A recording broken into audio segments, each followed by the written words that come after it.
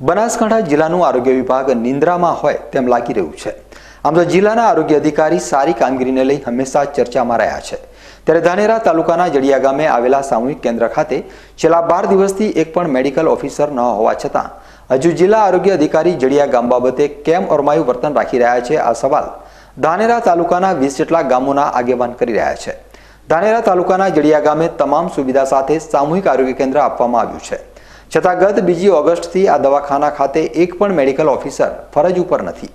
એક તરફ corona virus ચાલી રહ્યો છે, સાથે વરસાદી માહોલ હોવાના લીધે તાવ, શરદી સહિતની બીમારી પણ વધી રહી છે.